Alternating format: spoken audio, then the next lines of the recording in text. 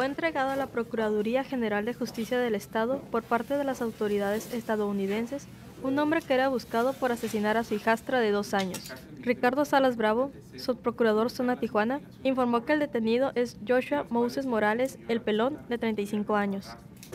El hecho en el que se le involucra ocurrió el 6 de febrero de 2009 en la colonia El Rubí de Tijuana, cuando Joshua Moses se encontraba cuidando a Verónica Osorio, de dos años de edad, hija de su pareja, quien en ese momento se encontraba trabajando.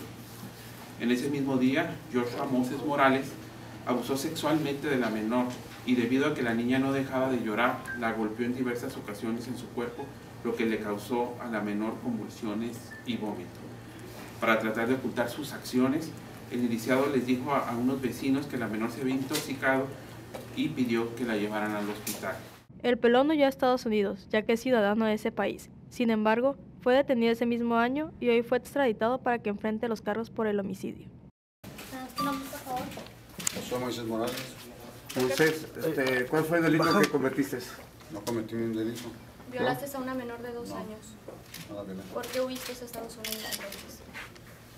No voy a decir nada. ¿Por qué? ¿Eh? ¿Cómo que por qué? Las autoridades ¿Qué te acusan. ¿Por qué te trajeron? ¿Por qué te ¿Por qué te trajeron trajeron para acá? Necesito a mi abogado primero para hablar. Sí, ¿por qué te trajeron? ¿Qué te dijeron que hiciste? No sé. Ok. ¿Y tu hijastra dónde está? Tengo, tengo tres. Tienes tres hijastras. ¿Y las tres están vivas? Sí. ¿Cuánto tiempo estuviste huyendo del vecino país? Huyendo. Sí. Estaba encarcelado ¿Estás encarcelado? ¿Por qué? ¿eh? ¿Por cuál motivo? por dejar el, el estado de Estados Unidos. ¿Cuánto tiempo estuviste en la cárcel en el vecino país? Casi- tres años. ¿Tres años? Como el presunto responsable es ciudadano norteamericano, se hizo la petición formal de extradición para que una vez que fuera capturado en Estados Unidos, este fuera entregado a las autoridades mexicanas.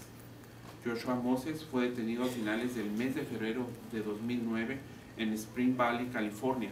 Sin embargo, fue hasta ahora que las autoridades de Estados Unidos lo extraditaron a México.